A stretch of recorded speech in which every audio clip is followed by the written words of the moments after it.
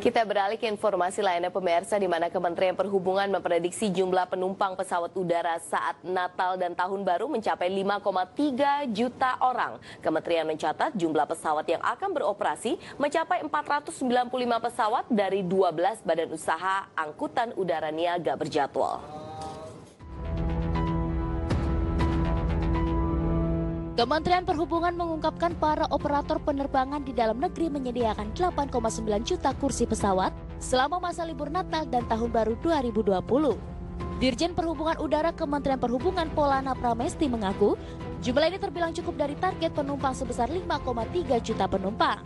Polana memastikan untuk libur Natal dan Tahun Baru tahun ini jumlah pesawat yang akan beroperasi mencapai 495 pesawat dari 12 badan usaha angkutan udara niaga berjadwal.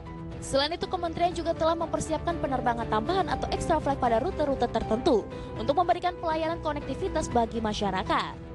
Adapun prediksi kami jumlah penumpang yang akan berangkat pada periode Nataru uh, tahun ini adalah 5,3 juta penumpang.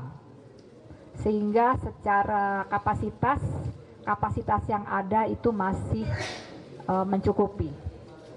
Namun demikian uh, juga sudah ada beberapa permohonan dari maskapai penerbangan untuk tambahan penerbangan atau extra, extra flight baik uh, dalam negeri maupun luar negeri. Untuk mengantisipasi keselamatan moda transportasi udara, Kementerian Perhubungan akan melakukan inspeksi keselamatan atau RAM check untuk keselamatan maskapai agar memenuhi standar penerbangan.